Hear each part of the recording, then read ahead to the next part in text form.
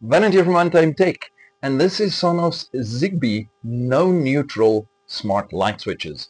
So what makes these super special is that you don't need a neutral wire for them to work, and that's probably the biggest challenge in South Africa because very few houses uh, have neutral wires, and that's the biggest challenge we've had with smart home lighting automation. Everybody wants to put smart light switches in, but you don't have neutrals and you don't want to pay for an electrician to pull neutral wires. So these solve the problem for you. This is a straight swap. You don't need a neutral wire. The only thing you do need is a Zigbee bridge because these work on Zigbee. 64 devices on one Zigbee bridge and the Zigbee bridge will be the one that actually talks to your Wi-Fi network. So quick show. I hope you can see this. This is a nice clicky feedback button on off. You can run a neutral to these.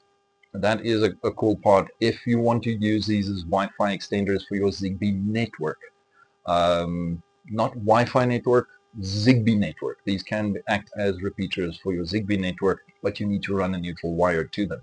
Without the neutral, they just work like a normal light switch, and you can pair them to eWeLink, and you can control them in automations and scenes and set up schedules and, and all the cool stuff. So then it is a normal smart switch, where all your traditional smart light switches require a neutral. These don't anymore. So this is absolutely going to revolutionize the smart lighting scene in South Africa.